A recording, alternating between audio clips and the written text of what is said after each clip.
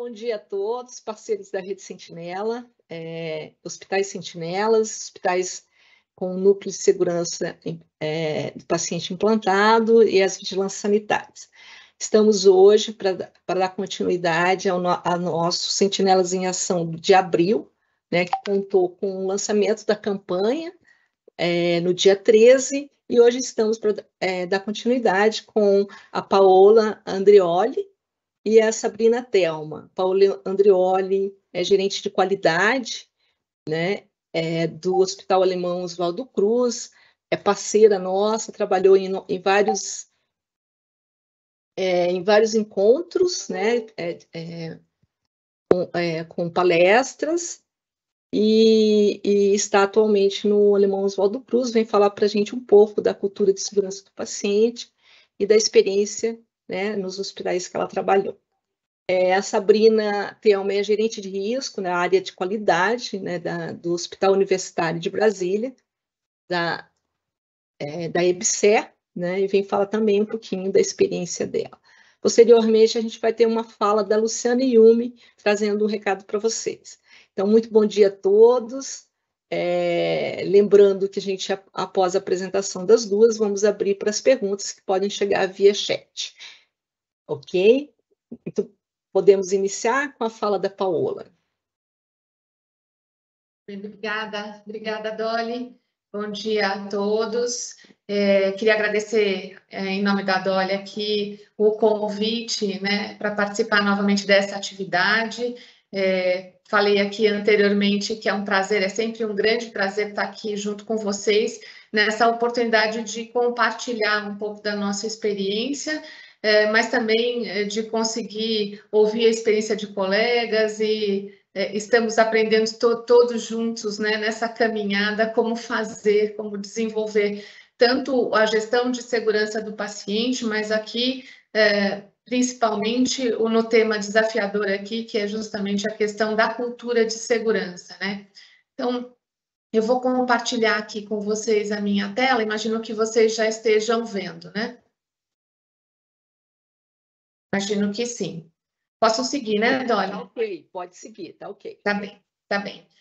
É, então, uh, só, só me apresentando novamente, né, como a Dolly disse, eu sou atualmente, né, estou como gerente de qualidade, eu tenho as áreas de qualidade, segurança do paciente, desfechos clínicos aqui no Hospital Alemão Oswaldo Cruz, Uh, só trazendo para vocês uma, um overview do hospital, inclusive porque eu acho que isso traz para a gente é, uma contextualização né, de qual é o tamanho do desafio né, de todos nós, cada um em, um em um serviço de saúde de um tamanho diferente, de uma complexidade diferente. Então, o nosso hospital é um hospital de 125 anos, que vem né, em todos estes anos evoluindo aí e buscando justamente se aperfeiçoar, tanto em práticas, é, assistenciais, quanto segurança do paciente, experiência do paciente, cuidado centrado no paciente, né? É, e veio se reinventando ao longo dos anos, claro, no desenvolvimento e na implantação é, de uma cultura de segurança que tenha maturidade suficiente para que a gente busque, nesse momento, é, o dano zero, né, que é um grande desafio proposto tanto pela nossa certificadora aqui, que é a JCI, quanto pela própria Organização Mundial da Saúde. Nós somos um hospital geral, com foco predominantemente cirúrgico. Uh, do ponto de vista da área é, privada, né, nós temos dois hospitais, né, duas unidades hospitalares e uma unidade ambulatorial onde tem check-up também. É, então, ao todo, temos 582 leitos, sendo 64 deles de UTI. É, 3 mil, aproximadamente 3,3 mil uh, colaboradores, mais de 4 mil médicos cadastrados, 31 salas cirúrgicas nos dois hospitais, temos também medicina diagnóstica completa e centros especializados de oncologia, de urologia, de digestiva. Isso só para dar uma ideia para vocês do nível de complexidade que a gente lida, né, quando a gente fala pra, de abraçar vamos dizer assim, uma cultura que uh, permeie toda a instituição. Uh, para começar a minha fala, eu só vou fazer duas contextualizações, até para a gente se aproximar de uma mesma visão quando a gente está falando de cultura, né? Ah, sim, desculpa, perdão. Antes disso, eu queria até comentar com vocês justamente uh, como que se estrutura né, o sistema de gestão da qualidade. Acho que é importante a gente falar disso. É, a gente entende o nosso sistema de gestão aqui como uh, uma, a busca né, da qualidade e da segurança do paciente expressa na assistência, ou seja, a nossa cultura, né, ela precisa estar tá permeabilizando toda a instituição, chegando na ponta, com tomada de decisão orientada por dados, é, para alcançar uma excelência no desempenho, uma redução de desperdícios e um maior valor para o paciente. Perdão. E aí, aqui a gente estrutura várias linhas de atuação né, do sistema de gestão, mas eu queria destacar aqui a questão da cultura de segurança e uma liderança positiva como pilares fundadores, vamos dizer assim, do sistema de gestão. Né? É, é assentado é, abaixo, vamos dizer assim, da, de uma cultura de segurança que permita o desenvolvimento disso tudo, é que a gente trabalha. É, e o que, que significa, né, gente? Aí sim, vou compartilhar com vocês um pouquinho de é, é, conceitos, né, do que significa cultura, né? E vou falar muito simplesmente, vamos dizer assim, é, da forma com que a gente entende é, mais simplesmente o que significa cultura. Não vamos falar aqui de conceitos especificamente é, de, de literatura, né? Mas traduzindo isso no nosso dia a dia, cultura é como digamos assim, como nós nos vestimos, ou como nós nos comportamos, ou como nós fazemos as coisas que fazemos, né? Como nós nos relacionamos, né? Entre nós, nossos parceiros, é, a maneira com que a gente entende significados de alguns símbolos, né? É, e no final das contas, como nós nos apresentamos como grupo ou como atuamos como grupo. Isso define genericamente o que significa cultura, né? É, mas quando a gente fala de cultura de segurança, ela é tudo isso, né? Quer dizer assim, a forma com que a gente opera, é, mas voltado para a questão de segurança. E aí, como se faz para vencer um desafio de ter essa multiplicidade de pessoas aqui, de carinhas, de jeitos e de uh, formas de enxergar né, uh, a, assistência, o atendimento ao paciente, mesmo a forma de se relacionar, como é que a gente leva todo esse pessoal para uma determinada forma de operar, forma de enxergar e forma de atuar é, semelhante, né? O que a gente vê, né, não só de experiência, mas também na literatura, é que toda a atuação para a construção e para a elevação do nível de cultura de segurança, ela tem que ser feita de maneira sistêmica. Ou seja, não são só uh, processos, procedimentos, mas a gente tem que ter uma atuação que abranja várias, uh, várias, uh, vários locais da instituição, e, e, todas as atuações elas têm que acontecer de maneira sistêmica, né, para poder abranger a instituição como um todo e todos os processos. Perdão, novamente. Então, significa a gente conseguir permeabilizar a instituição com objetivos comuns e que também estejam, de certa maneira, alinhados às crenças e valores das pessoas que estão lá dentro, né? Então, a gente também tem que incitar ou inspirar crenças e valores que as pessoas tenham dentro da instituição para que elas estejam casadas justamente para o caminho que a gente quer levar. E aonde começa isso? Então, é, eu, vou, eu vou seguir um percurso com vocês, é, de certa maneira, um percurso que a gente vem fazendo também para discutir isso dentro da instituição, é, porque a gente permanentemente faz avaliação de cultura de segurança e faz projetos de melhoria é, é, da cultura, né, para alcançar níveis cada vez mais elevados da cultura de segurança. Então, a gente começa assim, olhando para planejamentos, missão, visão e valores, mas sem entrar no, no, no mérito da, das instituições que possuem ou não planejamento, ou têm uma organização administrativa com é, missão, visão e valores, a gente está falando genericamente aqui de uh, embarcar a liderança nisso, né? É, então, tem todo um, um, conjunto de ações todo um conjunto de é, perspectivas, né, que a gente tem que adotar dentro da instituição para que a liderança possa estar embarcada neste projeto, vamos dizer assim de mudança de cultura, né? Sem que a liderança aponte para um determinado caminho, vai ser muito difícil que todos sigam para aquele caminho e também possam enxergar se suas crenças e valores eh, estão alinhados com aquilo que se espera na instituição. Então, eu fui juntando aqui algumas algumas ações, né, algumas diretrizes que nós vimos adotando dentro da instituição é, mas que também estão colocados em literatura como sendo é, perspectivas né, de, é, de adoção pela liderança, para que a gente possa ir avançando cada vez mais na implantação de uma cultura de segurança, eu vou chamar de positiva, tá? Então, implantação de safety huddle, de comitês de segurança, de rondas de segurança, de desenvolvimento, né, de programa de desenvolvimento da liderança, que considere a liderança para a segurança, no sentido de desenvolver competências e habilidades nessa liderança, para que uh, a gente possa ter a construção de uma segurança psicológica, se utilize em comunicação não violenta, para que a gente não tenha aquele aquele medo dentro da instituição, né, de uma cultura punitiva. E, sem dúvida nenhuma, para que a gente desenvolva essa liderança e os tenha como patrocinadores, que é uma tradução livre aí do que a gente chama de sponsor, né, de projetos, uh, seja de projetos de melhoria na instituição ou de núcleos de segurança é, nesse sentido da participação ativa da liderança.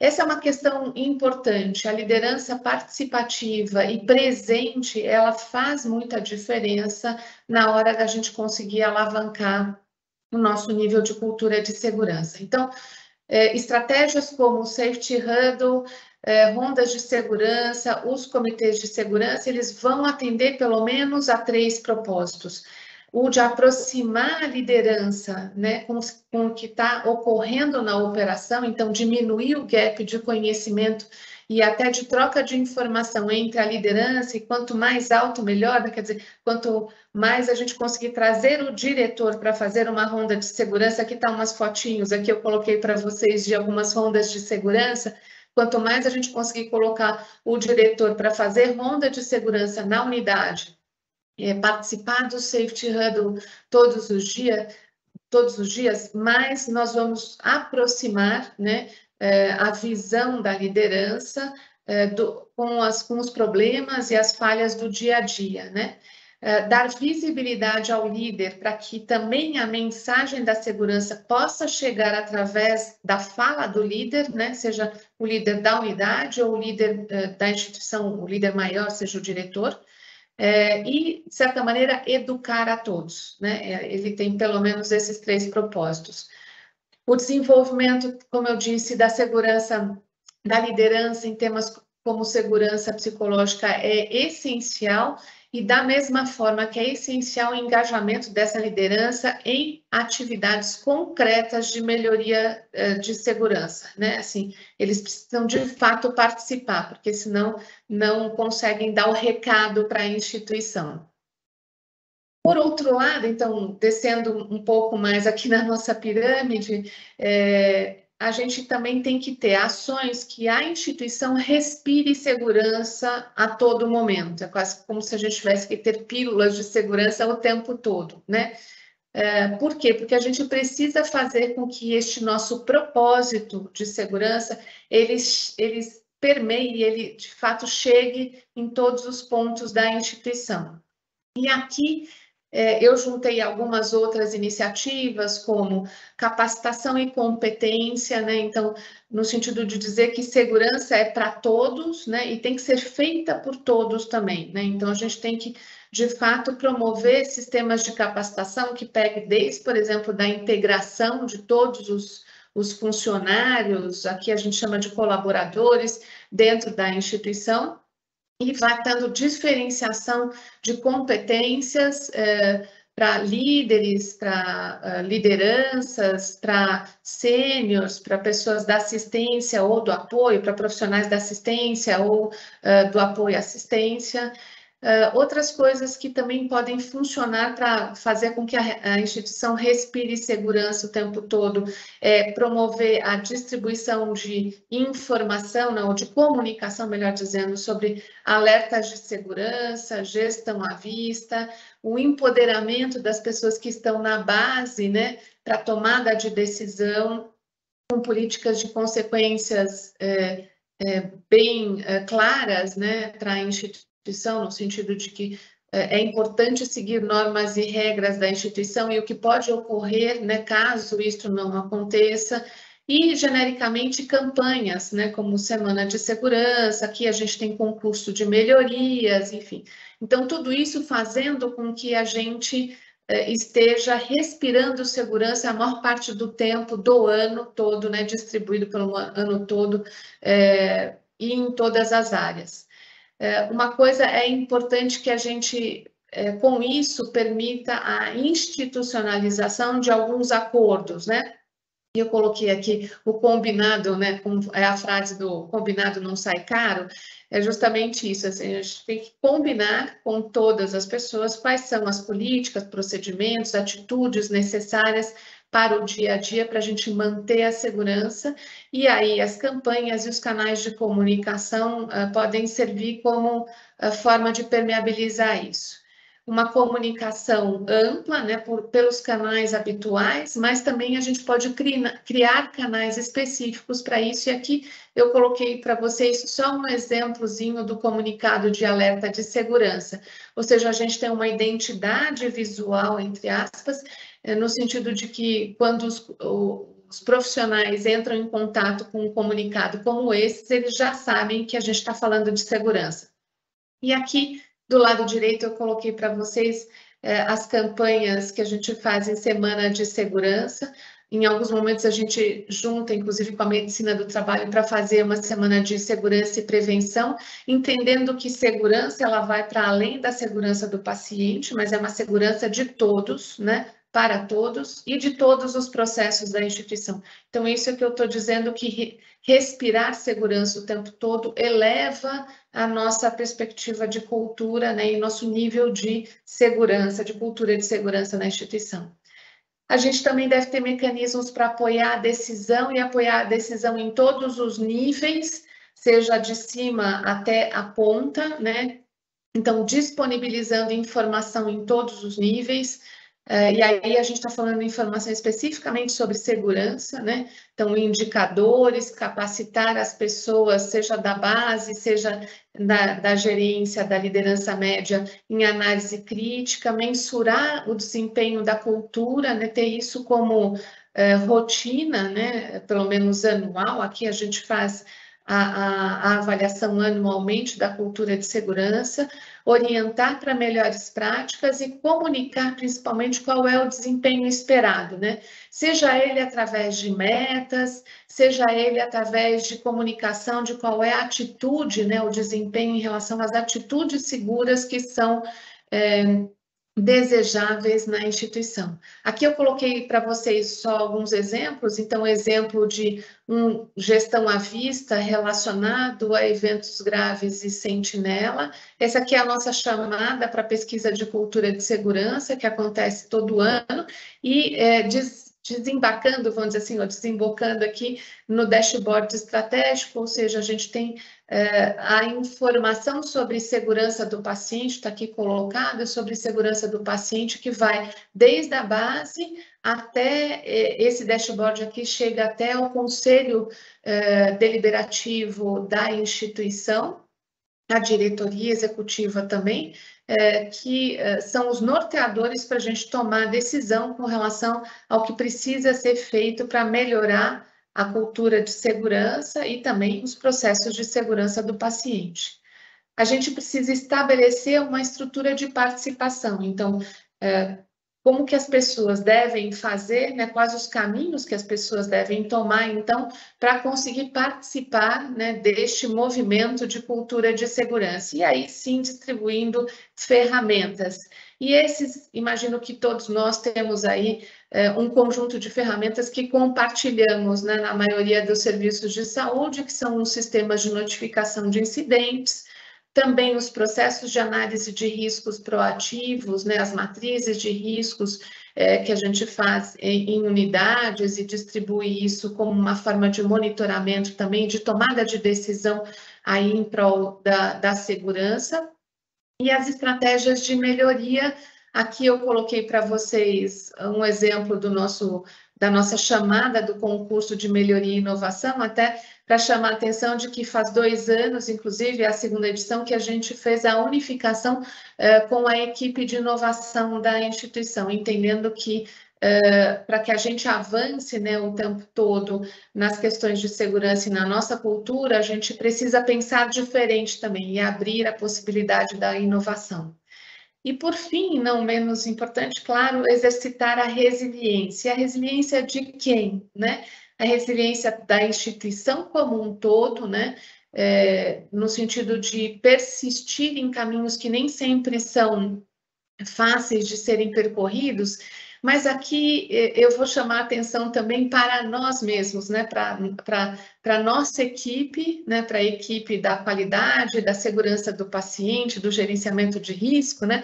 Para uma liderança positiva e resiliente, porque nem sempre é um caminho que parece assim é, que vai liso, mas ele não não é liso, né? Ele é bastante tortuoso, tem idas e vindas. Talvez às vezes a gente sente que dá alguns passos para frente e outros para trás, mas a gente precisa ter uma equipe preparada, né? Nós mesmos é, com preparação específica para lidar com dificuldades, enfrentamentos de dificuldades, é, exercitando aí o nosso, a nossa resiliência para todas, para ultrapassar essas dificuldades, ser criativos até é, em alguns momentos, com planejamento, com visão de futuro, né, e planejamento, um planejamento inspirador, né, e, e aí eu vou dar um exemplo para vocês o que, que eu chamo de inspirador, é, e é, de preferência com um patrocinador. O que, que a gente chama de patrocinador é justamente esse sponsor, ou seja, alguém da liderança, da alta liderança, que esteja conosco nessa trajetória da implantação da cultura de segurança e da melhoria da cultura de segurança. O que eu chamo de planejamento inspirador é justamente não dizer que a gente, por exemplo, quando fala de cultura de segurança, que a gente precisa somente analisar ou uh, mitigar, uh, analisar riscos, né, ou uh, avaliar eventos adversos, mas sim que o nosso propósito né, é coordenar os esforços da instituição para aumentar a cultura de segurança, aí sim mitigando e eliminando, eliminando os riscos aos pacientes, bem como a instituição como um todo. Então, a gente fez um planejamento recentemente, né, atualizando o nosso planejamento aqui, e, e fizemos aqui um desafio interno para que todos nós pensássemos em alguns objetivos inspiradores, né, para que a própria equipe de qualidade e segurança se sentisse inspirada e motivada para estar aqui todos os dias e lidar com as dificuldades que são aí a, a, o espectro da cultura de segurança, né?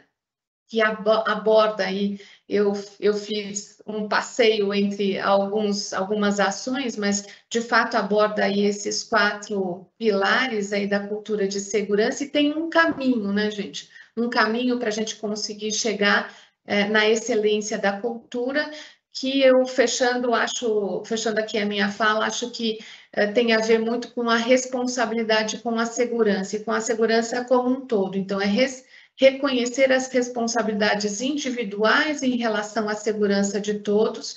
Ela é essencial para que juntos a gente possa buscar melhorias e apoiar as mudanças necessárias.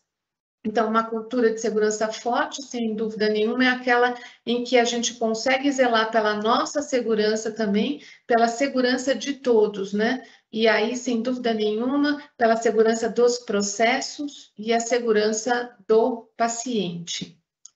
Espero que eu tenha conseguido cumprir o meu tempo, Dolly. Eu não consegui marcar aqui o meu, o meu tempo, mas fico à disposição para discussão depois e para perguntas. Obrigada, Paola. Sim, com certeza, o tempo está, né, foi obedecido. Muito obrigada pela apresentação. Vamos ouvir agora a fala da Sabrina e posteriormente abro para as perguntas.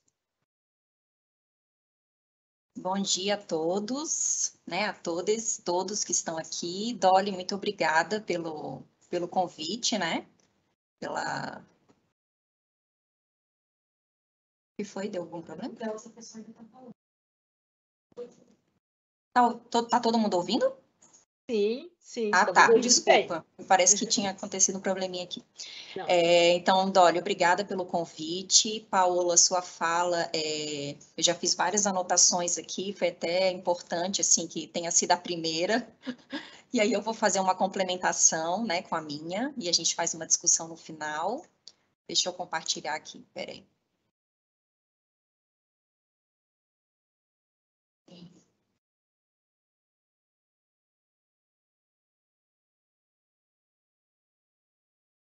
Estão vendo? Sim, sim, só falta isso, ok. Uhum. Ok, então vamos lá. Então, nosso tema, né, é cultura de segurança, até falei para a Dolly, assim, é, que é um tema muito importante. A gente, dentro de um hospital, tem vários, né, é, procedimentos, né, e, e processos complexos, é, cirurgia cardíaca, enfim, várias coisas que envolvem várias tecnologias e, e processos e tal, treinamentos, enfim. Só que a implementação de uma cultura de segurança, eu arrisco dizer que, com certeza, é, é uma das coisas mais desafiadoras, complexas, é, para se ter dentro de um hospital ou dentro de uma, de uma organização de alta confiabilidade, e que é o que realmente assim é base para a gente desenvolver qualquer melhoria, né, e a gente atingir a nossa qualidade assistencial. E aí trago para vocês que o termo, né, cultura de segurança, realmente começou a ser difundido é, depois de alguns desastres, alguns acidentes catastróficos, bem complicados, muito, muitos desses aqui, né, o primeiro, por exemplo, que é o de Chernobyl, e agora com a guerra, enfim, a gente né, tem se preocupado ainda mais, que trouxeram vários feridos e mortos, e esse na né, explosão de, de Piper, também o incêndio da estação de trem. Então, nessa faixa aqui de 1980, por aí, né, de, de 80, a gente teve esses desastres que aí sim, por se perceber que o que ocasionou isso aqui foi uma cultura de segurança fraca, começou-se a se falar muito disso, de se trazer né, e se desenvolver uma cultura de segurança dentro das instituições. Ao longo do tempo, a gente sabe que o nosso cuidado ele começou a ficar cada vez mais complexo, né, com tecnologias, é, demandas aumentando, né, ascendentes, os avanços tecnológicos, a diversidade dos processos cada vez maior, e a gente começou a ter um cuidado mais inseguro é, sendo que, se a gente não se preocupar é, com a questão da cultura, né, da cultura de segurança. Então, a gente precisa sempre, até principalmente depois do relatório Errar Humano, né, do IOM, de 1999, é, a melhoria da segurança do paciente, ele depende de um fortalecimento da cultura de segurança. Então, se a gente começar a se preocupar cada vez mais em aumentar a nossa cultura de segurança, né, garantindo uma comunicação mais aberta, o trabalho em equipe, entendendo que existe essa dependência mútua, ninguém faz nada sozinho dentro das instituições, principalmente na área da saúde, né? O aprendizado contínuo com as falhas, então, de se ter uma cultura justa, não punitiva, de que as pessoas elas se sintam confortáveis de fazer as notificações, né, dentro dos formulários, do sistema que for, da instituição, e que em cima daquilo, né, do reporte, vai se ter o aprendizado, e se ter a primazia da segurança, ou seja, a segurança ela tem que ser o assunto base principal dentro de uma organização. E aí, em contrapartida nessa balança, com certeza a gente vai atingir a diminuição dos incidentes e falhas, riscos, né, enfim, e a diminuição principalmente dos eventos adversos, aqueles que trazem dano ao paciente e que são evitáveis, e que a gente viu muito com o relatório errário humano, né? Por meio do aprendizado proativo, a partir dos erros, e aí sim redesenhando os processos para a gente ter melhorias. Então, a gente vê aqui né, que uma cultura organizacional, quando a gente pensa numa organização, a gente pensa no prédio, né, num hospital, que é o que a gente está mais focado aqui, só que uma cultura é, institucional, organizacional, ela é feita por pessoas. E aí a gente começa a ver a complexidade, o quanto que isso é desafiador. Aqui a gente tem a figura né, dessa profissional da saúde, que é cada um de nós, e como que essa profissional, como que a Maria, o Pedro, o João, se comporta, como são seus comportamentos e hábitos num grupo. Como que a Maria é com a Joana, como que a Maria é com o Pedro, médico, físio, é, é ela tem as mesmas falas, o mesmo comportamento no grupo X, Y, ou ela é diferente? E as crenças dela? Né? É, ela realmente ela corrobora com aquilo que ela acredita, ela transmite, compartilha aquilo com o grupo ou não?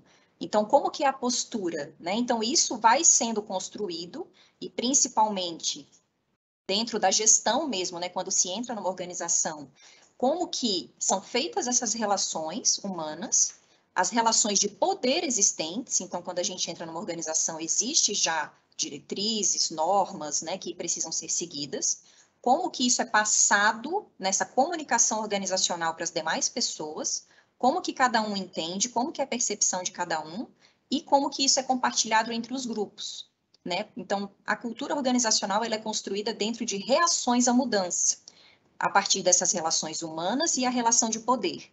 Como a Paula muito bem disse, ela trouxe muito como o primeiro pilar lá da pirâmide, né, que é a liderança.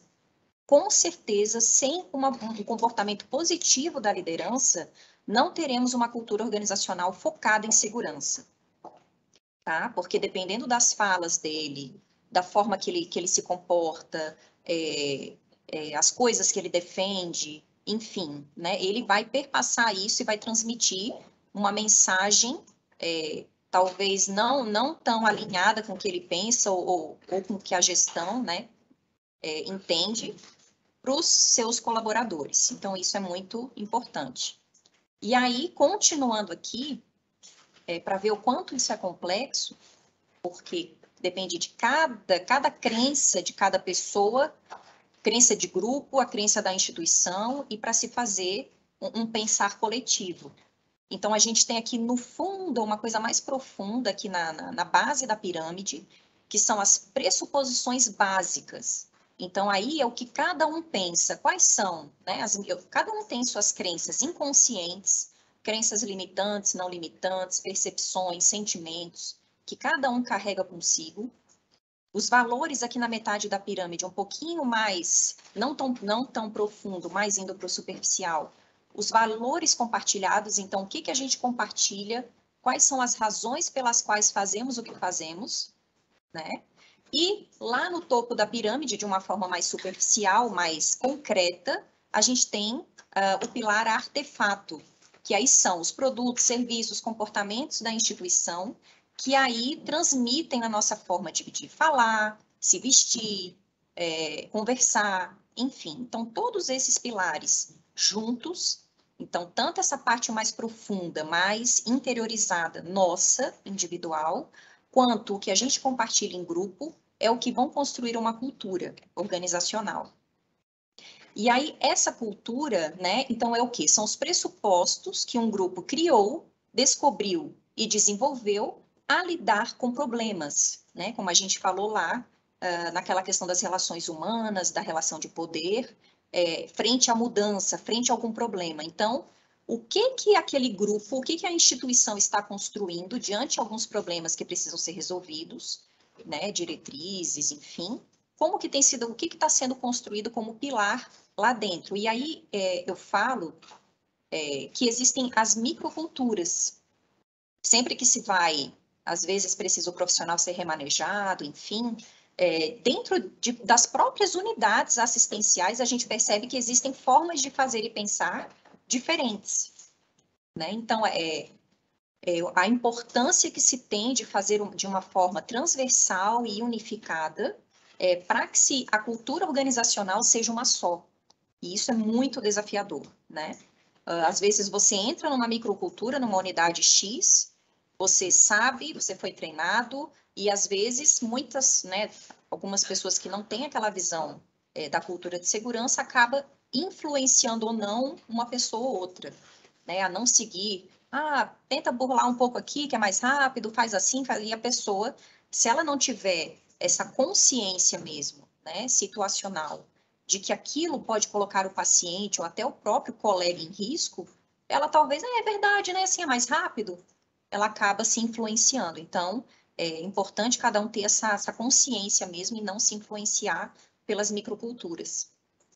A cultura de segurança né, do, do paciente. Então, a gente sabe que é um conjunto de crenças partilhadas e o comprometimento de todo mundo com a segurança. Então, quando a gente tiver isso, eu tenho a minha crença, eu sei que isso vai colocar o paciente em risco, eu sei, eu fui treinada é, pelo protocolo de identificação do paciente, cirurgia segura, eu vou seguir porque eu sei que isso vai diminuir muito os riscos, né, para é, colocar, acontecer algum incidente, algum evento adverso. E eu vou compartilhar isso com os meus colegas e eu vou fazer com que a cultura da minha unidade, da minha instituição, realmente seja focada na segurança. E aqui, é, como a Paula já falou, né, eu vou reforçar isso aqui, porque realmente é um, um atributo muito importante do comportamento positivo do líder. As lideranças, elas têm um papel fundamental para a gente conseguir é, avançar cada vez mais nessa promoção da cultura. É, a forma dele se posicionar, as coisas que ele fala. Ah, gente, isso aí é porque a gestão está mandando. Não sabe nem a importância daquilo, para que que precisa se seguir aquelas medidas de segurança. Então, ele, ele é a peça fundamental ali, porque ele é o espelho, a equipe vai ver. Não, se ele está fazendo, também vou fazer. Se ele pensa assim, por que, que eu vou pensar diferente? É, inconscientemente, a equipe acaba é, fazendo daquela forma, entendendo, né? Mas se nem o líder acredita ou nem ele entende, aí vai ficar cada vez mais difícil, realmente. E aqui a gente vê os estágios, né, de acordo com o Hudson, 2003, é, de uma cultura. E para cada um, mais ou menos, se ver em, em que estágio que está. Né? É, a gente tem que ir da patológica para a participativa. A patológica é quando realmente, assim, é, a segurança é um problema causado pelos trabalhadores, então, assim, ninguém pensa em segurança, cada um, ah, eu sempre fiz assim, tá bom, e é o, é o caos total, né? A reativa, que ações corretivas são tomadas após ocorrência de incidente, então, não vou pensar em prevenção de risco, de, de fazer mapeamento de risco, isso não importa. Aconteceu um incidente, né, geralmente catastrófico, vai lá, resolve, tenta. Né, a calculada, a segurança é gerenciada administra administrativamente através da coleta de dados e melhorias são impostas. Então, já existe um avanço a mais nessa questão de ser é, é, coletado dados, se faz análise, se traça melhorias, mas ela ainda precisa ser imposta. Não existe aquela proatividade das pessoas, da equipe, né, da, da, da área que aquele incidente aconteceu, por exemplo, ou daqueles riscos que estão sendo mapeados, proativamente para que realmente faça o plano de ação, execute, rode um PDSA. Não, precisa ser cobrado, precisa ser imposto mas já é calculada. A proativa, então, a gente já avançou nesse sentido, né? Os funcionários já tomaram iniciativa para melhorar a segurança, para as melhorias de processo, e a participativa, todos os níveis são envolvidos, todo mundo fala a mesma língua, todo mundo tem o mesmo propósito, entende, já é primazia da segurança e isso acontece de forma natural, sem cobrança, sem nada. Então, a intenção é que a gente aumente a confiança ao, ao passo que a gente suba aí nessa escadinha.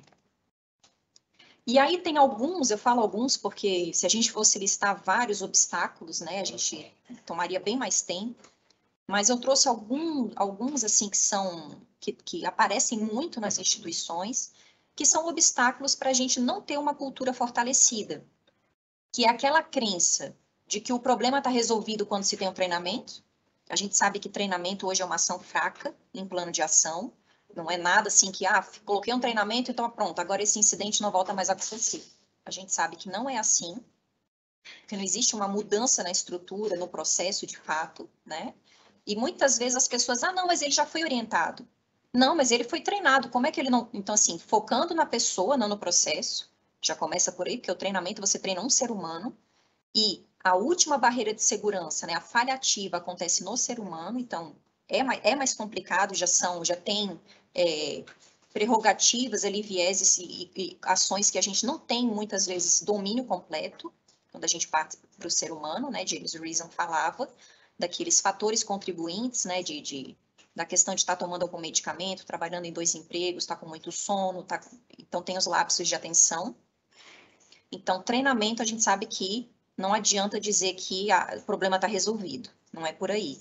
E a gente ouve muito isso, né?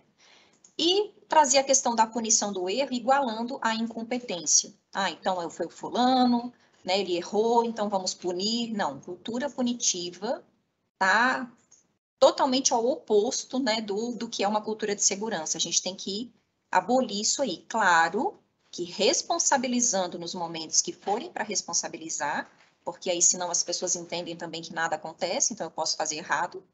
Então a cultura justa, mas sem uma cultura punitiva de que é, mesmo entendendo que não foi né, não, é infração ética nem nada, e a pessoa se sentir punida ou ser punida, principalmente pela liderança. Aí a gente volta lá para aquele pilar que a liderança é importante para desenvolver uma cultura.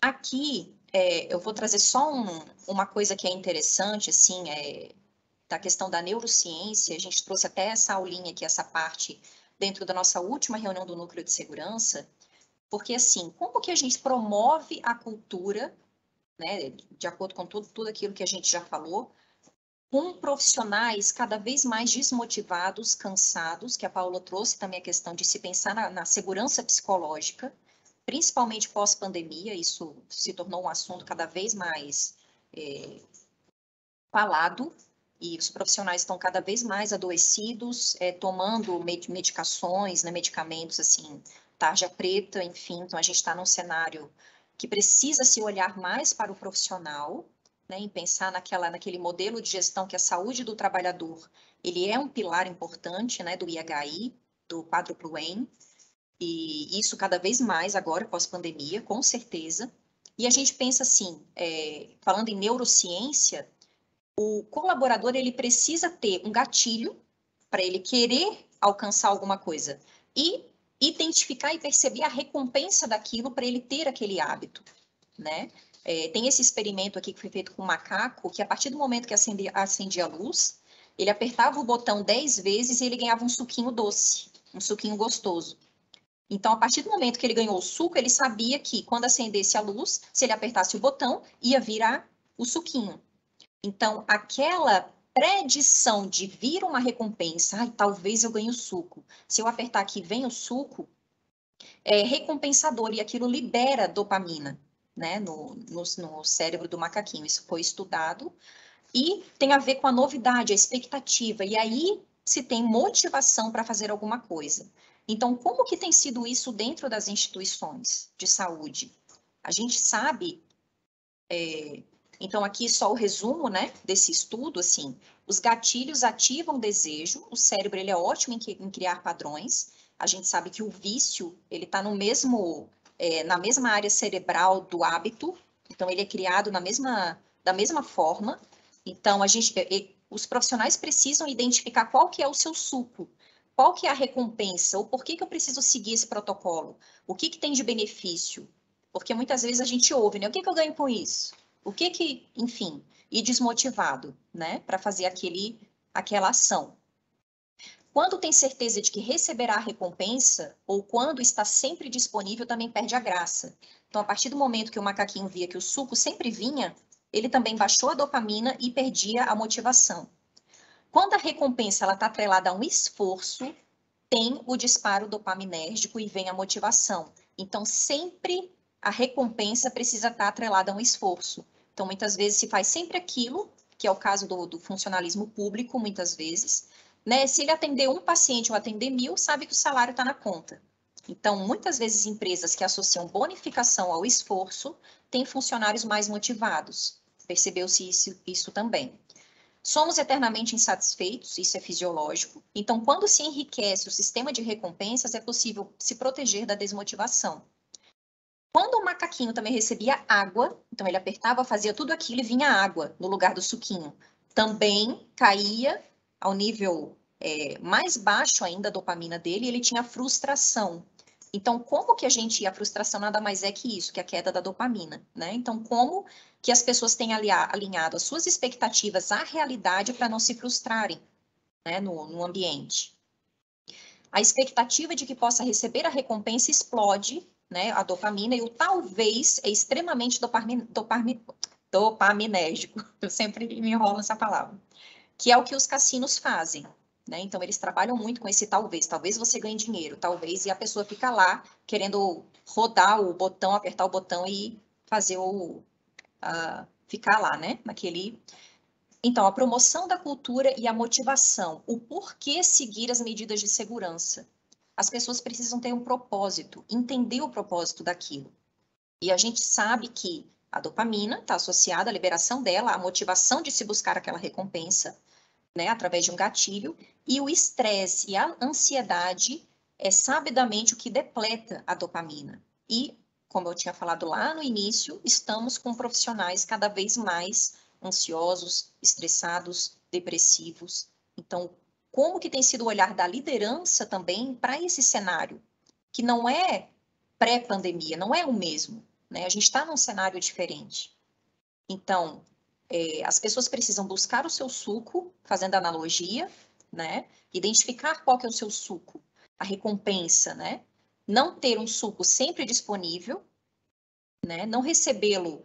Para recebê-lo é preciso ter um talvez associado a esforço. Ele está sempre disponível e sem esforço nenhum, ninguém vai se motivar. É necessário ter várias possibilidades de sucos diferentes também, porque senão sempre fica sempre aquele mesmo, a pessoa desmotiva. Enfim, eu resolvi, eu achei interessante trazer porque até foi a última pauta do, do MSP e que tem a ver também com o propósito, né, e o que, que a gente poderia fazer para a cultura. Sobre as experiências, eu já estou acabando aqui na minha fala, é, o que, que a gente tem feito? Então, a gente tem um sistema de notificação eletrônica anônima, confidencial, que é o Vigiosp, é um software eletrônico, né, em que a pessoa faz a notificação, não precisa se identificar, então, é o nosso sistema de reporte, é, é dado o feedback para o profissional dentro da própria ferramenta e a gente faz os relatórios dos, dos incidentes, desde a circunstância notificável até o incidente que não teve dano, até o moderado. A gente envia os relatórios via SEI, sigiloso, e pede o feedback para a chefia né, da, de ações de melhoria, enfim. E a gente faz os, os relatórios de investigação dos graves e óbito, né? Também trabalhando com eles o plano de ação e dando esse, é, trabalhando essa questão da, das melhorias e do aprendizado. Alertas de segurança, então a gente tem o DOM, que é o nosso mascotinho da comunicação, já vou mostrar a foto para vocês, e que mensalmente a gente libera através do número de notificações ou aquelas que a gente considera mais sérias, mais importantes ou que tem se repetido dentro do Vigiosp, a gente gera um alerta que o DOM é uma fotinho, né, e a gente compartilha por todas as, as, as nossas redes de comunicação, e-mail, WhatsApp, é, fica na intranet também, na nossa aba da qualidade. O estímulo de campanhas anuais sobre a importância de notificação, principalmente é, no mês de abril, a gente aproveita, né, que é a campanha da, da, sobre segurança do paciente. Vamos implementar esse ano, são os dois projetos que nós temos dentro do nosso plano de segurança, a gestão proativa de riscos, com mapeamento de risco e gerando aquela matriz, né, com as cores, dentro da UTI neonatal e a pesquisa de cultura de segurança, né? A Paula, ela já está bem avançada, né? Já está fazendo anualmente, a gente vai fazer também a nossa pesquisa anual para conseguir fazer, ter todos esses indicadores, traçar metas, né? Que, que é muito importante a gente ter essa avaliação pelos colaboradores. A nossa avaliação interna da qualidade, que é o CEQUALI, então a gente tem, uh, isso foi feito, criado pela própria, é um sistema da própria EBSER, para suas filiais, né? Então a gente avalia requisitos, tem os avaliadores, consultores, executores, e a gente tem os nossos líderes da qualidade, que foi um projeto adicional é, com a avaliação interna da qualidade. Então, são pessoas que se inscreveram é, da área, das áreas assistenciais e administrativas, querendo ser líder da qualidade. Então, eles têm, é, selecionaram algumas atividades que eles desenvolvem e a área que melhor desempenhar dentro de uns critérios, que melhor pontuar, ela ganha um prêmio. Um prêmio material, uma menção honrosa, é, coberta, né, com cobertura pela comunicação e com a alta gestão presente, tirando fotos, né, parabenizando, e também serve como para progressão vertical do funcionário, que é um incentivo a mais também. A gente tem as rondas de segurança semanais, então toda terça-feira as nossas enfermeiras elas vão na área, avaliando processos relacionados ao controle de infecção e a segurança do paciente e qualidade, e gera um relatório que também é enviado via SEI, né, e estimulando melhorias. Além das participações diversas, né, é, das áreas e usuários durante a elaboração de PDE, sempre o PDE elaborado com participação de paciente, colaboradores de diversas unidades, e o estímulo à criação de colegiados e a unidade de produção para discussão sobre indicadores, linhas de cuidado também, que isso em cada área, tanto administrativa quanto assistencial, tem essas pessoas, esses grupos que deliberam e discutem esses assuntos, dentre outros. Então, aqui eu trouxe só umas fotinhas. Nossa ronda começou em 2019, aí ela precisou fazer uma pausa por conta da pandemia e a gente retomou agora, sendo visitas agora toda terça, né? Aqui foi a visita que a gente fez na UTI. Anteriormente, a Ronda era formada por diversas áreas, tanto laboratório, almoxarifado, engenharia, é, diversas, né, a agência transfusional, enfim. E agora a gente está realmente com a Ronda só da unidade de gestão da qualidade, o setor de gestão da qualidade, né, com os nossos processos daqui. Porque estava um pouco difícil de reunir todo mundo, que a gente sabe que todo mundo tem muitas demandas, né? Então, agora em 2022, está aqui a divulgação da nossa intranet, do, do nosso projeto da Ronda, e essa aqui é a carinha de como que é o relatório, mais ou menos encaminhado para a área. A menção honrosa, que a gente vai entregar nos próximos dias e fazer a cerimônia solene de entrega para os nossos líderes da qualidade. Esse ano foi a clínica cirúrgica, que atingiu a maior pontuação. Esse é o nosso, os nossos alertas de segurança, esse é o nosso dom, que é o nosso mascote da comunicação, então sempre que ele aparece é para trazer um alerta de segurança. E era isso. Também espero que tenha atingido o tempo aí. Obrigada, Sabrina. A gente tem um tempinho para as perguntas e a gente iniciou um pouquinho é, à frente né, do horário, então a gente tem direito de passar um pouquinho também. É, espero a compreensão de todos. Antes da gente passar para pergunta, para as perguntas e para, o debate, a conversa entre vocês, é, eu gostaria de passar a palavra para a Luciana é, Ue, né, que traz uma, um, um informe para vocês sobre a questão do abril pela segurança do paciente. Bom dia, Luciana, a palavra está contigo. Bom dia, é, primeiro dizer que as falas foram complementares, mas vieram de acordo com a mensagem que eu vim trazer. Vou compartilhar com vocês. Então, a gente está na última semana do Abril pela Segurança do Paciente. Vocês devem ter já começado várias atividades. A gente viu vários hospitais compartilhando isso. É, só um momento.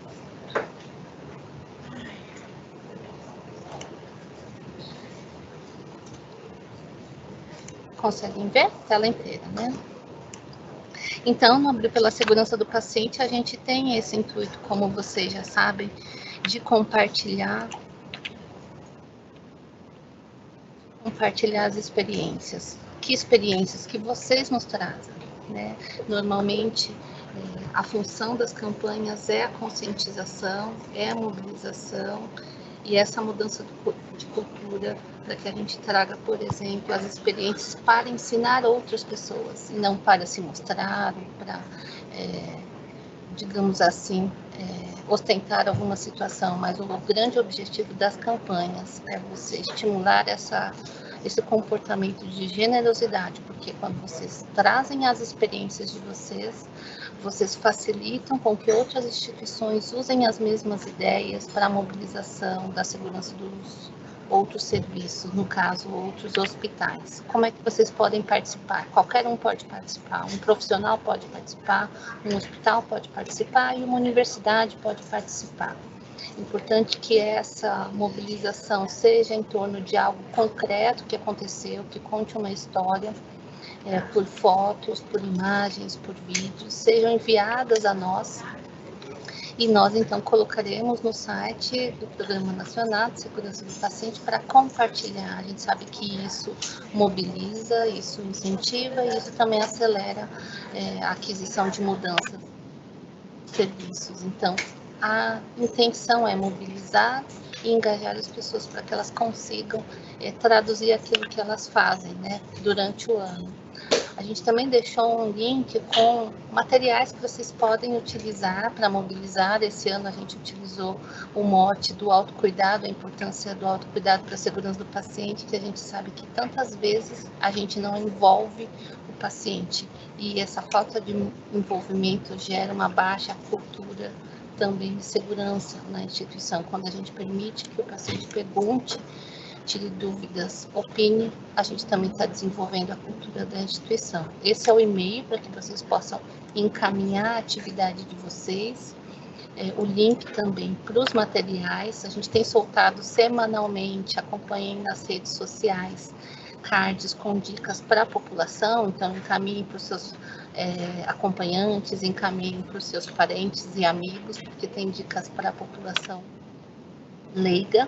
E aqui tem os contatos também do Programa Nacional. Se vocês tiverem alguma dúvida, a gente deixa uns contatinhos para vocês. A gente tem protetor de tela e banner também que vocês podem utilizar nas atividades de vocês para marcar esse apelo pela segurança do paciente lá naquele link que eu deixei no site. E era isso. Obrigada pela, pelo espaço, Dolis. Espero que não tenha ocupado muito tempo. Obrigada, Luciana. Né? É, vamos passar agora. Vieram poucos questionamentos, então, enquanto eu passo os que chegaram, passo um estímulo né, para que é, coloquem as perguntas, comentários, né, um pouco da experiência de vocês. É, chegaram alguns questionamentos sobre a disponibilização das apresentações. Eu coloquei aqui no grupo, que solicitem para a Rede Sentinela e aí a gente conversa com Sabrina e com Paola e faz chegar né, essa apresentação a vocês. É, uma, um questionamento é sobre seu e-mail, Paola. É, a Sheila Rocha, né, da, do Núcleo de Segurança do Paciente do INE, da Fiocruz, pede o seu e-mail. Aí eu só peço autorização, porque aí eu posso passar para Sheila, né? Aqui no próprio chat. É possível? Sim, sem problema, sem problemas. Pode disponibilizar. O do Gmail. É, não, o do. Eu, eu, posso colocar aqui no chat mesmo? Isso, ótimo. Tá bom. Melhor. Tá bom, eu ponho aqui. É... Já estou colocando aqui. O Ivan Barreto é, faz um comentário, na verdade, ele fala que a mudança de cultura é muito difícil, sobretudo se temos uma gestão hospitalar de instituições que focam as ações com objetivo no lucro e, e que o investimento na segurança é básico por força da legislação. Isso ele observa no, na região que ele trabalha, que é no Nordeste. É, uma pergunta vem, não, não se identificou, ela pergunta se vocês, né, eu aí acho que está mais voltado para a Paola, né, se tem serviços terceirizados se isso, se, se sim, como se caso aconteça um evento adverso envolvendo o mesmo, como vocês procedem na abordagem com a empresa? Tá bem. Vou começar falando, Sabrina, se depois também quiser complementar. É, acho que é, a, a, gente tem desafios com, a gente chama parceiros e terceiros, não importa, são pessoas que é, estão dentro da instituição né, e que tocam o paciente de alguma maneira, e é sempre um grande desafio é, mantê-los dentro do nosso nível de cultura, né, quer dizer, assim, com a mesma visão que a gente, é, que a gente pretende que todos tenham aqui dentro. Então, vamos lá, para responder a, a, pergunta, não sei, não tinha nome, né, não sei quem foi que perguntou, mas é, responder a pergunta do colega, eu vou começar dizendo que uh, a abordagem relacionada a a ocorrência de eventos com o, um terceiro, né, ou um parceiro da instituição, ela tem que começar muito antes, eu acho, né? Assim, na verdade, é um relacionamento que a gente estabelece com esse terceiro desde sempre, que vai permitir com que a gente tenha sim uma abordagem com eles semelhante ao que a gente tem com uh, todos os nossos profissionais internamente, né, e os nossos serviços internamente, quando a gente tem um, um evento adverso ocorrendo.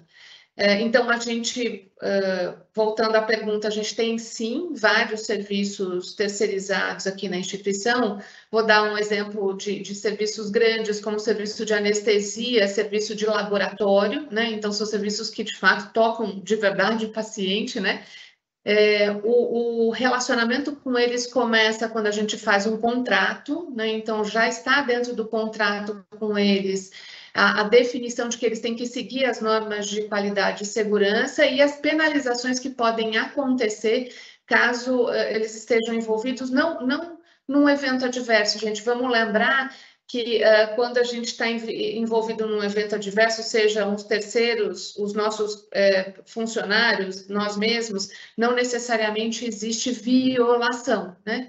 Uh, a gente tem que lidar da mesma maneira. Eventualmente podem acontecer eventos adversos relacionados aos terceiros, mas isso não necessariamente significa uma culpa em que a gente tem que ter alguma penalização. Mas é claro que dentro do contrato a gente precisa ter uma cláusula que me permita ter uma, uma penalização ao terceiro, caso isso ocorra com um tipo de violação ou de maneira recorrente, reiterada, ou sem seguir as normas da instituição.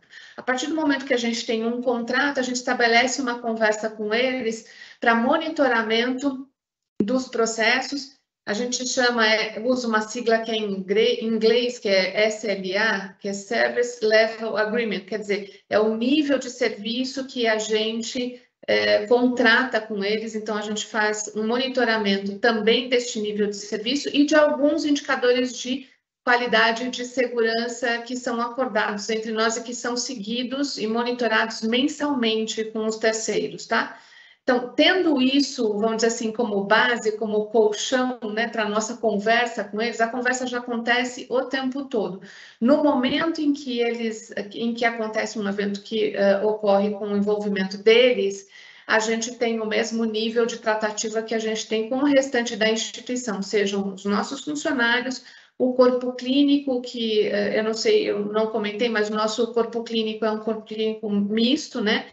Ele é aberto, médicos externos que trazem os seus pacientes para serem internados aqui e médicos também contratados pela instituição. E tem os terceiros. Então, a nossa tratativa é a mesma. E só para encerrar a, a, resposta rapidamente aqui, é, para dar para vocês um, um, a noção de quanto eh, dentro do processo eles estão, eles participam da discussão em núcleos de segurança. Então, é, nós temos alguns parceiros é, que têm representantes dentro do núcleo de segurança do paciente da instituição para discutir os eventos conosco.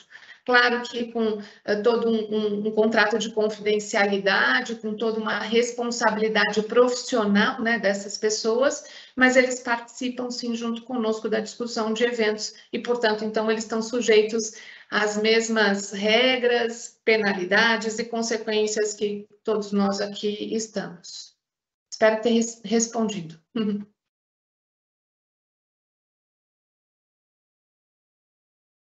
Obrigada. Você quer falar alguma coisa, Sabrina?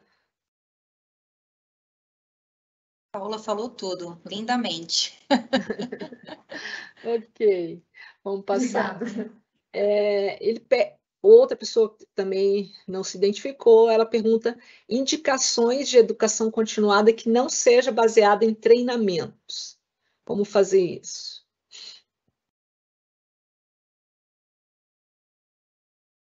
Sabrina? Eu acredito, assim, é aquilo que eu falei, né, da, da questão do, do treinamento.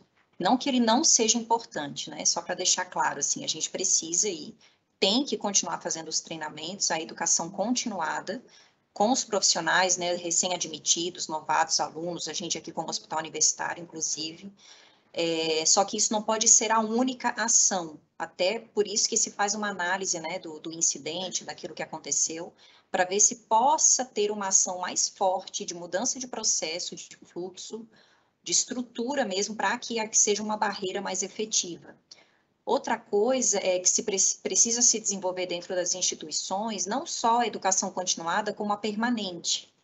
Né? Isso se discute muito, que é realmente é, olhar para o processo, né, para o fluxo, desenhar linhas de cuidado, né, ter, ter os protocolos e, e, e dentro, né, com, com análise do, do, incidente ali e com o pessoal da educação permanente, né, com o grupo que é criado, tentar se avaliar o processo e redesenhar mesmo, trazer melhorias nesse sentido. E não só ficar com, com a questão do treinamento em si. Não sei se tu quer complementar também, Paola.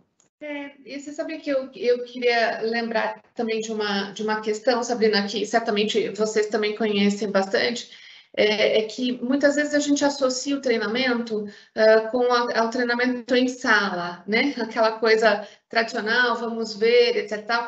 E, e o que a gente precisa muito e se vê uh, que é mais, mais efetivo né, na questão do desenvolvimento da cultura é quando a gente consegue colocar as pessoas para fazer alguma coisa, né? Quando a gente está falando de simulação, mas aí simulação talvez todo mundo vai pensar assim, poxa vida, mais um centro de simulação, não é disso que a gente está tá falando, né? É, é, de, de, colocar as pessoas na situação e ver como é que elas agiriam, né? É, e aí a gente uh, normalmente chama isso de desenvolvimento de competência. Por que, que é competência? Né? Porque você ter todo o conhecimento né, que um treinamento, vamos dizer, mais tradicional pode trazer, mas ele é aplicado no teu dia a dia. Né? Então, como é que você faz isso uh, se transformar na sua prática? Né? Então, eu, eu, concordo completamente com a Sabrina, acho que modificar processos é algo bastante poderoso, né, para a gente conseguir fazer mudança de, de cultura, né, porque sem a mudança de processos, né, só trazer é, informação e, e competências para as pessoas, elas não têm como operar, né, mas uma outra questão é também transformar aí a nossa visão de como fazer treinamentos. A gente aqui tem utilizado uma, uma, uma forma de oficina, tá? A gente nem chama mais de treinamento, né? A gente muitas vezes chama de oficina mesmo, que é colocar a mão na massa, fazer com que as pessoas coloquem a mão na massa, porque no final das contas é, é, o que importa é quando ela esteja lá na, na beira leito, né? É, ela já tenha treinado, entre aspas, essa, essa situação e ela saiba escolher entre, porque a gente sempre tem que escolher, né, no nosso dia a dia, entre fazer de um jeito ou daquele, é, ou desse jeito ou daquele outro, é, escolher fazer com segurança, né? É, Para que ele tenha isso mais automatizado, ele precisa ter praticado em algum momento, né? Então, é só esse, essa ressalva, né, para a gente desmistificar também um pouco essa questão do treinamento, que às vezes ela está muito atrelada à sala de aula, né? Ela está muito atrelada a, um, a, uma forma de treinamento mais tradicional, entre aspas, tá? Obrigada. A Sheila é, Rocha pergunta para a Paola se você poderia falar mais um pouco sobre o seguinte: em seu slide de ferramentas no item análise de risco, você citou a distribuição de matriz de risco. Foi isso? Poderia explicar melhor? Eu acho que eu não entendi bem essa distribuição. Ah, tá. Me desculpa, acho que eu falei rapidamente, a gente vai estar atropelando assim. E, e Sabrina, vi que também está começando essa, essa iniciativa, né, Sabrina? Talvez você possa comentar como é que vocês estão fazendo, mas é, o que eu chamo de distribuição é o seguinte: a gente tem que fazer análise de risco nas unidades, né? É, e dentro aqui do AOC, a gente tem uma perspectiva de utilizar o que a gente chama de gestão à vista. Então, dentro de todas as unidades é, é, de internação, e mesmo ambulatoriais, melhor dizendo, todas as unidades de assistência, é, a gente tem o que a gente chama de painel de gestão à vista, que nada mais é do que um painel que algumas instituições também possuem, né, de acrílico, onde você pode colocar lá os seus indicadores, é, recados importantes e tudo mais. Então, é, é isso que eu estava dizendo de distribuição. Então, é você conseguir nas áreas onde você estabeleceu lá o teu processo de análise de risco, você conseguir distribuir a tua matriz de risco para a unidade, para ela poder reconhecer lá, e aí todo mundo poder reconhecer quais são os seus principais perigos ali, né? Quais os riscos colocados na unidade, e até para controlá-los, né?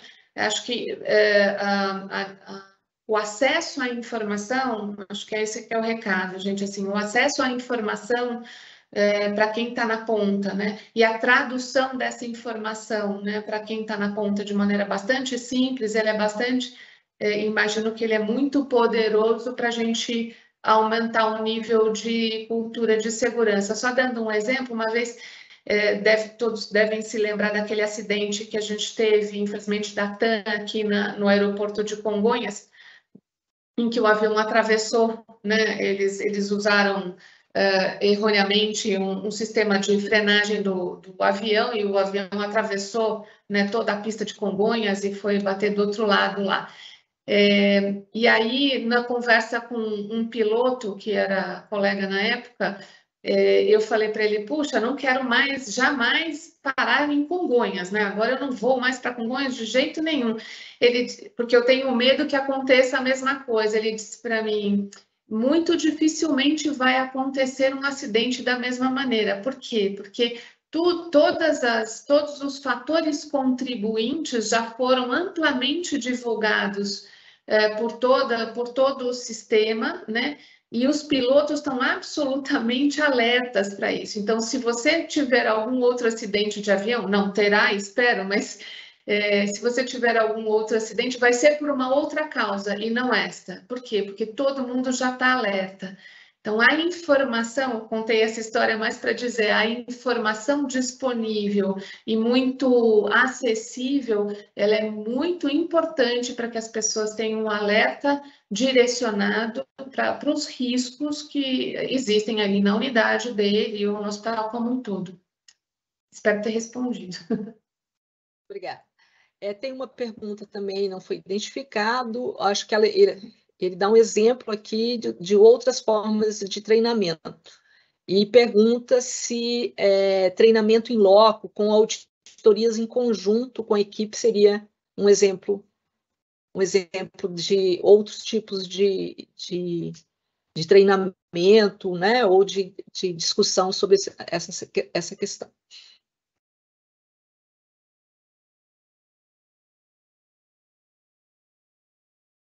Quer, é, quer seguir, Sabrina? Não sei se você comentou sobre as auditorias que vocês fazem nas unidades, né?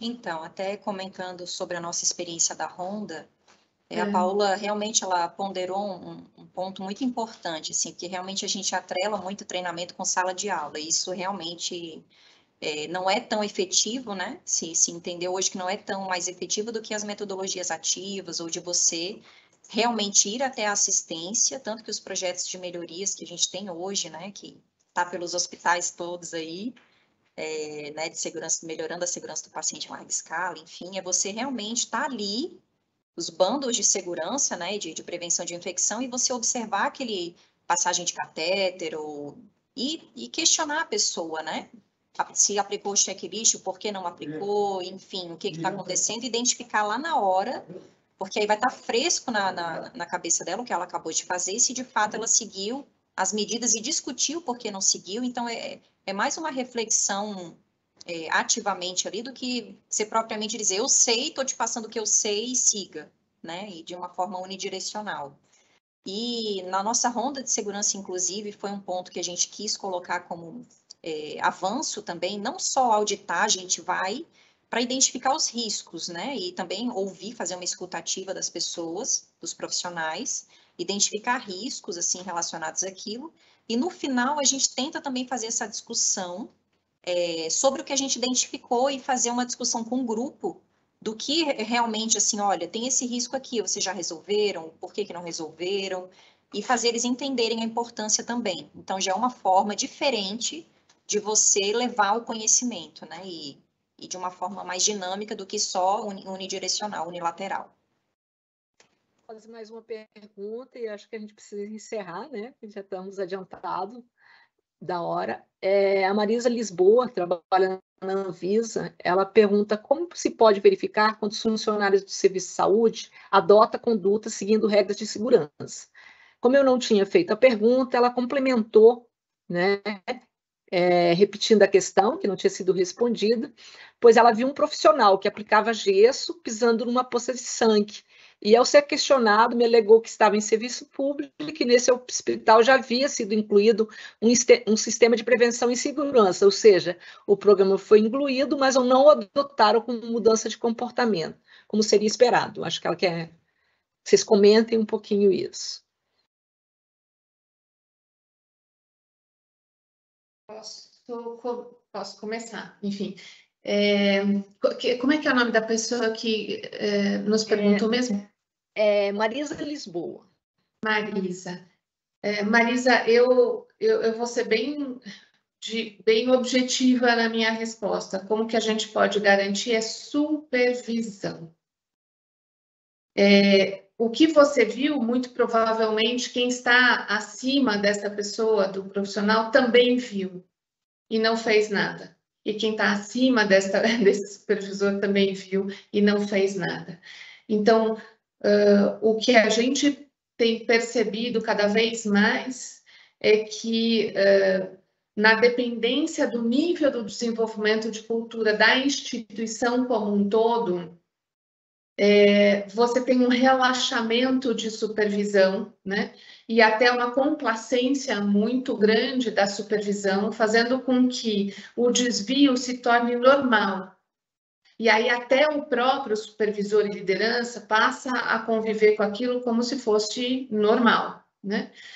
É, então, a diferenciação, acho que a diferenciação no nível da cultura é quando a gente diminui, vai diminuindo fortemente a complacência desde cima para baixo.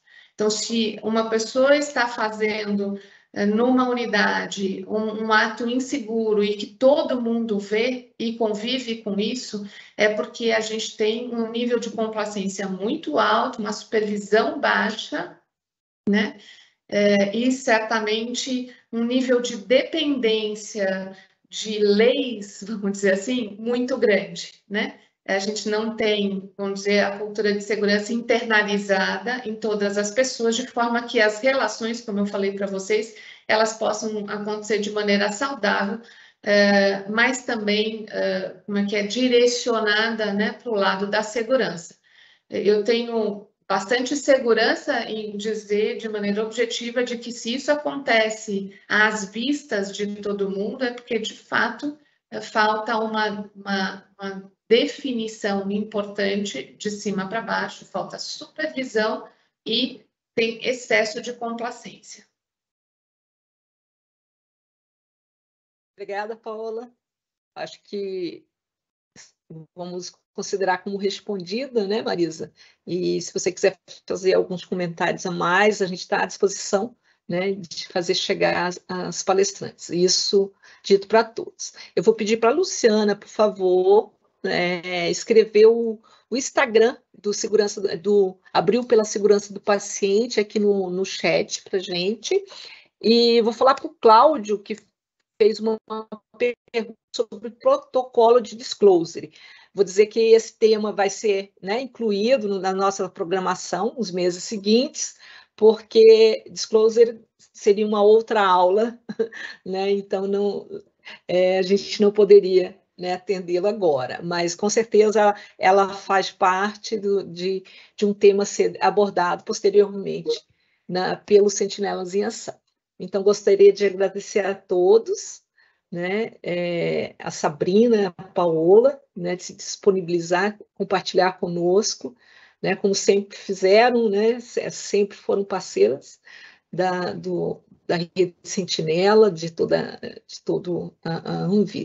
Então, muito obrigada, foi um prazer revê-las, né, mesmo que à distância, bastante saudade de todos, e agradecer a todos que estiveram conosco assistindo e lembrando que a Rede Sentinela está à disposição, pode ser acionada né, através do e-mail. que tenhamos uma boa semana, né? E até o nosso próximo encontro em maio, que será dia 10 de maio. Estaremos aqui discutindo alguns temas de vigipós e segurança do paciente. Boa tarde para todos e até Obrigada, o nosso próximo encontro. Prazer em conhecê-la, tá Paola. Prazer estar vindo. Ótima semana para todo mundo. Ótima semana. Tchau, Luciana. Até mais. Tchau, Dolly. Um abração a todos.